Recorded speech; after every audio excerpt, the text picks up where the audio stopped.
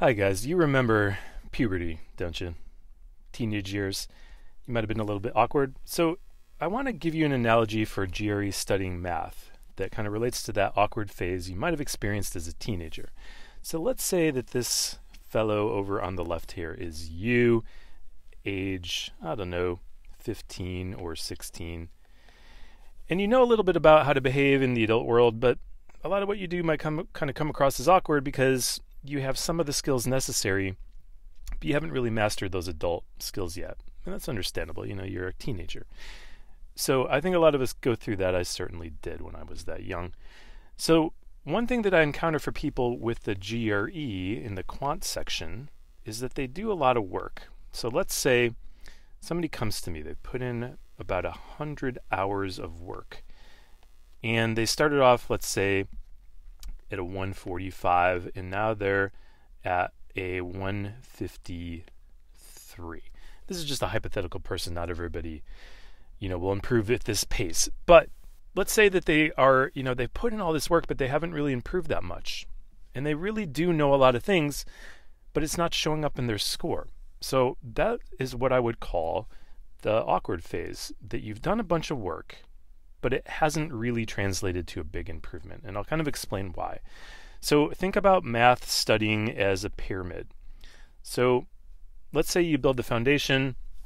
This is conceptual skill. So let's say we're talking about going through the ETS math review to learn concepts and maybe practicing them with Khan Academy. So that's what I recommend to kind of make sure you know the basics.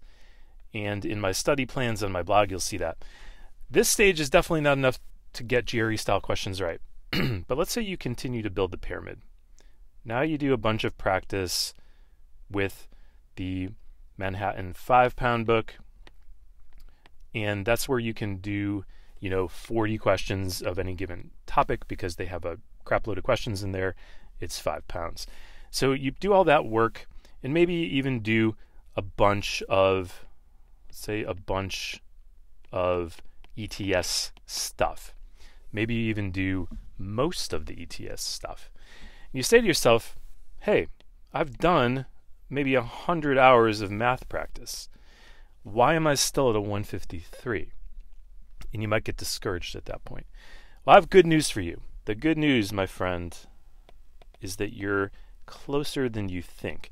Because if you are in the awkward phase of kind of being halfway good at everything, it's really hit or miss if you're going to get a random GRE question right.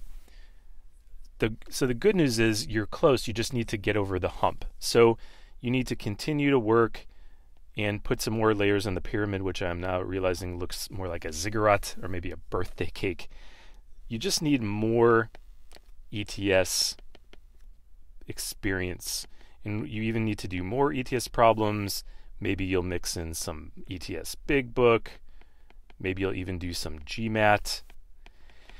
And what that's going to do for you, it's going to get you from being kind of good at a, a given concept to actually good once you get enough experience to feel confident and once you get enough experience to, you know, have seen it all pretty much. You've seen the the concept from tons and tons of different angles tons of different wordings, and you feel like you're good at it.